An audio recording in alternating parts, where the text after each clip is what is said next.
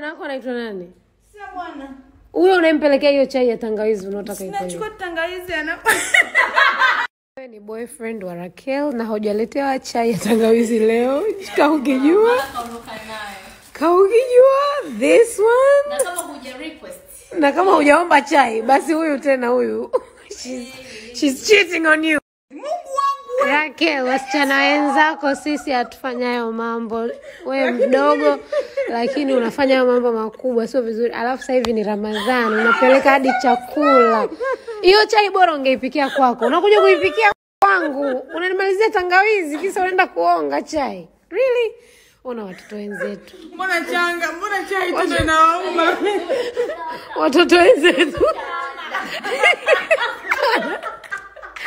kukukaka kwangu, unanimalizia tangawizi, kisa unaenda kuonga chai. Really?